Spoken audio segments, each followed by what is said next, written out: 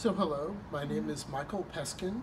I'm a professor at Stanford University and the SLAC National Accelerator Laboratory, and I am passionate about the ILC.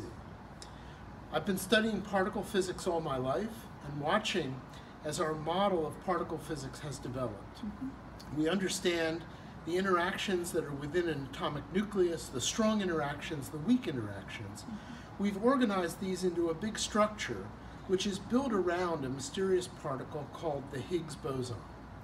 That particle was discovered six years ago at the laboratory CERN in Geneva, but still it has many mysteries.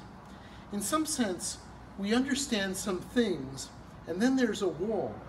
And on the other side is the ultimate understanding of how this Higgs boson works, how it fills all of space, how it gives mass to all of the elementary particles but we haven't been able to penetrate that wall.